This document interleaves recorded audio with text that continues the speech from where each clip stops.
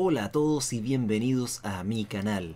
He probado la alfa de Elite Dangerous Odyssey, expansión que personalmente llevaba esperando hace meses con muchas ansias. Y a continuación les comentaré un poco mi experiencia a modo de review.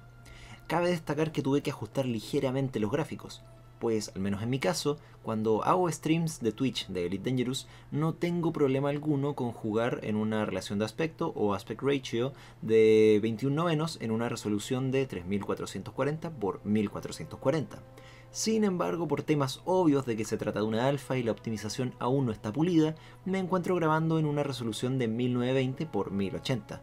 Sin embargo, para temas de testing, esto no me importa en lo absoluto ni me quita las ganas de jugar. Aunque debo destacar que a pesar de mis expectativas, el rendimiento iba bastante, bastante bien, a pesar de que no poseo una máquina tan nueva.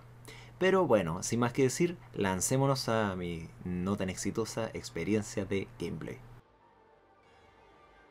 Ahora, los primeros 10 minutos solo me di vueltas por la estación, viendo algunos detalles y la disposición de las cosas.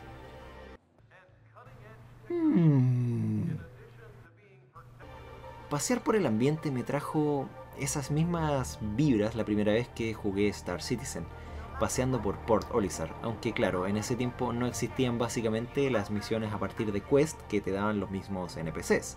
Sin embargo, a pesar de que la estación es relativamente pequeña, habían varias cosas que ver en primera instancia. Ah, concurso de mirada espacial. Me dio gusto ver en display de manera física algunos de los ítems que se pueden comprar. Una vez que accedes a la tienda digital a través del NPC, nos encontramos con el traje Maverick, el cual recomiendo conseguir antes de hacer misiones más peligrosillas, dado que los videos de promoción de Frontier fueron una rotunda mentira y en realidad los bots sí pueden ser bastante letales sin un buen equipo encima me sorprendió bastante ver una variedad de las armas, una buena variedad de armas. Pero nuevamente, recomiendo no gastar de golpe todo tu dinero en una sola arma. Nos encontramos además con el sistema de interfaz de primera persona, equivalente al Glass utilizado en Star Citizen, pero menos inmersivo, debo decir. Por otro lado, podemos encontrarnos con varios NPCs que aparte de comprarnos o vendernos objetos, pueden ofrecernos misiones, como bien vimos en videos pasados oficiales de Elite Dangerous. Usualmente estas misiones entregadas por NPCs ofrecen pagos decentes e incluso puedes regatear el precio, algo que me pareció bastante entretenido. Sin embargo, escogí únicamente una misión cualquiera para probar la experiencia.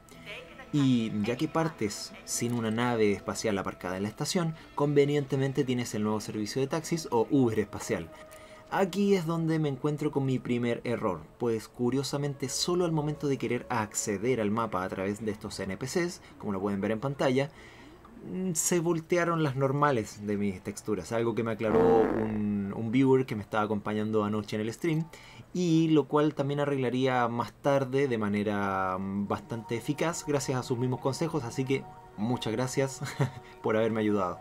Al principio me tomó unos segundos adecuarme al nuevo sistema pero creo que fue bastante intuitivo. Seleccionas tu destino según la misión o lugar que quieres visitar, tomas uno de los elevadores, convenientemente rápidos, y te vas en el Uber.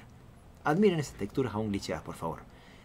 Una salida rara más tarde y nos encaminamos a nuestro destino, ya que Elite Dangerous utiliza los puntos de viaje Quantum y las entradas o salidas de velocidad supercrucero como puntos de carga, de momento se había solucionado el problema de las texturas.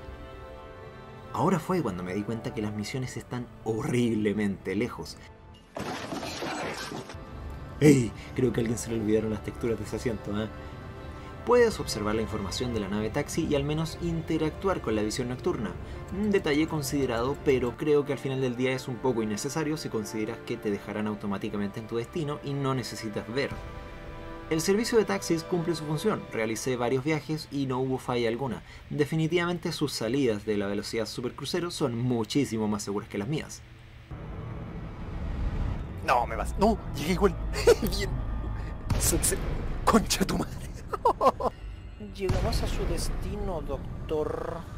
¿Qué? ¡Guau! ¿Qué? ¡Ay, tengo miedo! Espérate. Ninguna otra agencia de turismo le entrega el servicio que yo le acabo de entregar. Y queda comprobado que tampoco puedes solicitar la autodestrucción fuera de la velocidad de supercrucero.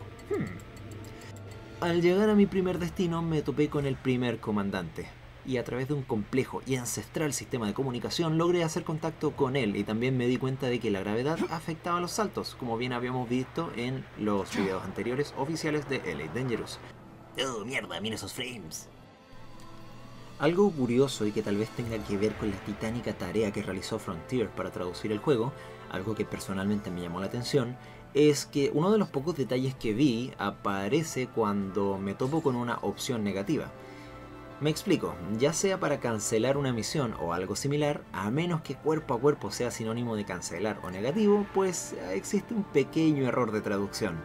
Pero vamos que es solamente un detalle curioso, ¿eh? no es nada grave. Tuve la fortuna de ver una ejecución pública en el asentamiento donde estaba, descubriendo el sanguinario gusto de los NPCs por profanar los cuerpos de los comandantes ya muertos, aun cuando claramente ya estaban como colador.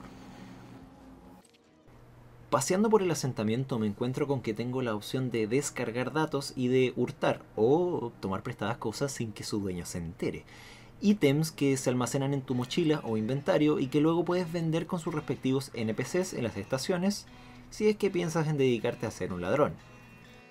Pero volviendo a lo importante, de vuelta en mi misión eh, tenía que acceder a una zona restringida y como simplemente salí sin las herramientas necesarias, me las ingenié para llamar la atención de algún inepto NPC que me abriera la puerta. Luego, como desconocía si esto me traería problemas, simplemente me escondí, descubriendo que al parecer puedes perder la atención de tus perseguidores si es que bloqueas un poco su cono de visión. De todas formas, terminé en fuego cruzado, ya que quise probar qué tal iban las mecánicas de combate y al parecer olvidé activar mi escudo de fuerza, razón por la que morí tan rápido la primera vez. Ya en la segunda pantalla de Respawn nos encontramos con algunas opciones interesantes, como algunas que sugieren eh, darnos préstamos o la opción de vender algo que sea de tu propiedad con la finalidad de recuperar algo de dinero en caso de quedar en la ruina por aparecer y comprar de inmediato un arma. Por eso nuevamente les recomiendo encarecidamente juntar dinero primero.